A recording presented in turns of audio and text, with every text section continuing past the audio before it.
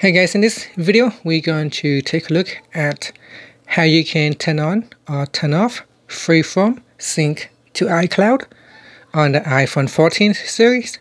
First let's go back to the home screen by swiping up at the bottom of the screen.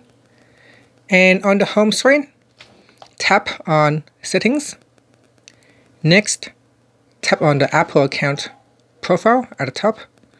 Then we go down and tap on iCloud Next, in here, go down and tap on Show All.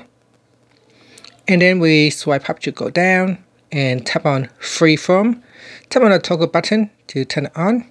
Now when you turn it on, it said existing local freeform. What would you like to do with existing local freeform on your iPhone? Tap on the merge button so that it can merge between uh, what you have on your phone and on the cloud.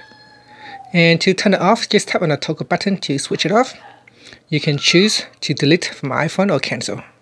If you um, tap on delete from iPhone, then it will be removed and all your freeform documents will be lost. And that's it. Thank you for watching this video. Please subscribe to my channel for more videos.